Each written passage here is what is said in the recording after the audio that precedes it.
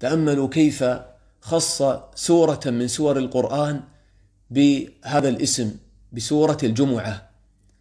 وتأمل كيف افتتح الله تعالى هذه السورة. فاتحة سورة الجمعة فاتحة خاشعة مهيبة. فتحت بالتسبيح والتقديس والتعظيم لله جل وعلا.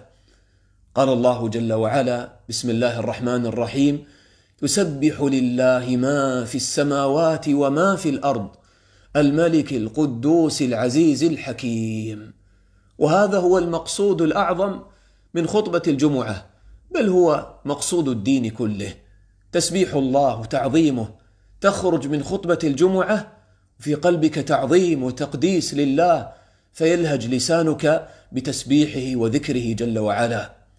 ثم تأمل قال الله تعالى بعدها هو الذي بعث في الأميين رسولا منهم يتلو عليهم آياته ويزكيهم ويعلمهم الكتاب والحكمة وإن كانوا من قبل لفي ضلال مبين.